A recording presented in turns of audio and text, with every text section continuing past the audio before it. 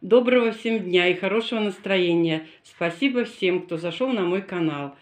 Вот сегодня я хочу показать большие-пребольшие вазы. У меня их четыре. Одну я показывала, керамическую, коричневую, в другом видео. А вот эти я еще не показывала. Вот такая красота. Они большие, перламутровые. Вот перламутровая вазочка. Вот видите, моя рука и вот эта вазочка. Но ее еще можно длиннее сделать. У нее еще один сегмент есть, но мы его не ставим, потому что она уж слишком высокая получается, не умещается на шкаф. Мы ее туда ставим и один сегмент снимаем. Вот видите, она вся сборная. Вот она перламутровая. Такие вот у нее красивые детали. Позолота. Вот это вот у нее. Вот такая красивая ваза. Ну, для сухоцветов она керамическая. Вот эта ваза большая, огромная. Вот у нее с одной стороны.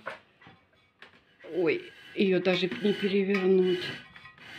Вот с, такой, вот с этой стороны такой у нее сюжет осень. Золотая осень. Она вся в позолоте. Красивая. Тоже она перламутровая. Это тоже керамика. И вот эта ваза стеклянная. Это современные. Ну, вот это, вот эта вот ваза 80-х годов, а эти вот более-менее современные.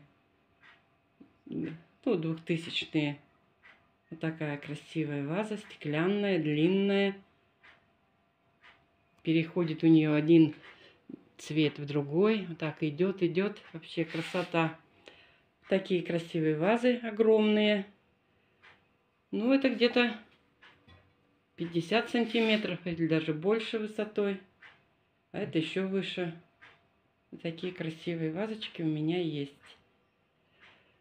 Спасибо, кто зашел на мой канал. Пишите комментарии, ставьте лайки, подписывайтесь, кто не подписался.